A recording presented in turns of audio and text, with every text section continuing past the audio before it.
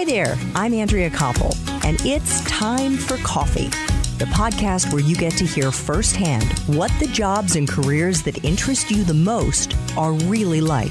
Hey there, Java Junkies. Welcome to another K Cup mini episode of Time for Coffee. By the way, K cups come in three sizes single, double, and triple shots, or roughly one minute, five minutes, or 10 minutes in length. So if you don't have time to throw back an entire caffeinated career conversation, these K-Cup mini episodes of T4C can give you a quick caffeinated fix, whether you're on the go or you only have a few minutes to binge. So grab your mug and take a chug, cause it's time for a caffeinated career double shot K-Cup with my guest, Susan Weiner. So, what do you wish you had known when you were looking for that first post college job?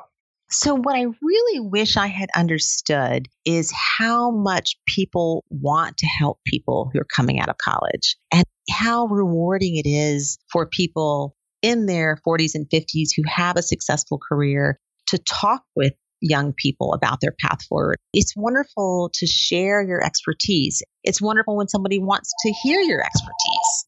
It would have been really helpful to me if I had understood that at that point in my life. I really need to be more proactive, go talk to more people, and that those people wanted to talk to me and would actually enjoy talking to me and enjoy helping me. I wish I had really understood that because I think I would have explored more options. So to seek out mentors.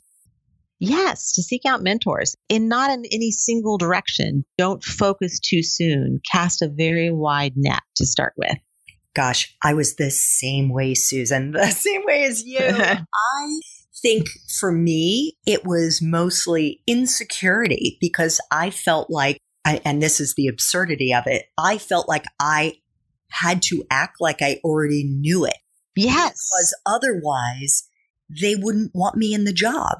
And if yes. I started revealing to my colleagues who were so much more seasoned than I was that I didn't know what the heck I was doing, mm. that hmm. they would look down on me. And I couldn't agree with you more.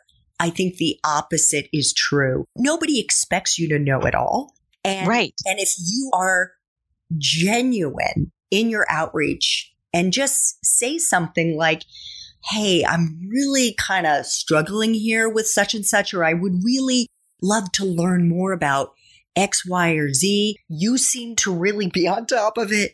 Do you have any advice for me? Yes, yes. Of course, the humorous thing is now that I've been through some careers and I'm older, is that you can see when young people don't know.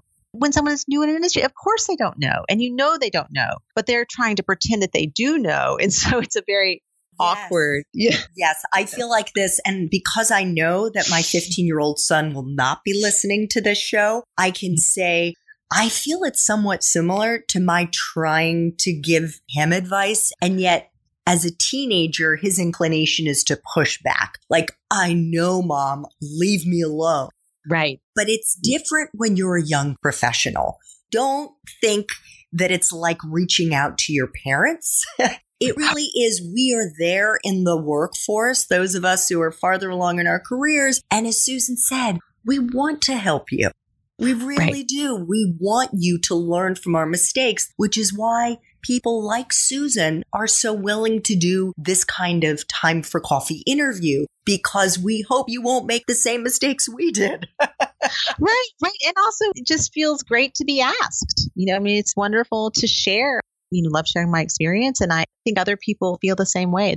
If there's a young person out there who's starting a career and they're being proactive to track me down and ask me questions. I want to help that person because I think that person is going to be successful and I want to feel like I was part of that success. Thanks for tuning in to this K Cup mini episode of Time for Coffee. If you want to listen to our entire caffeinated career conversation, please check out the show notes for this episode. Thanks so much for listening to Time for Coffee, where the professionals in the jobs that most interest you always have time to grab coffee 24 7, no matter where you live. I have one quick favor to ask you. Remember to rate, review, and subscribe to Time for Coffee. Thanks so much.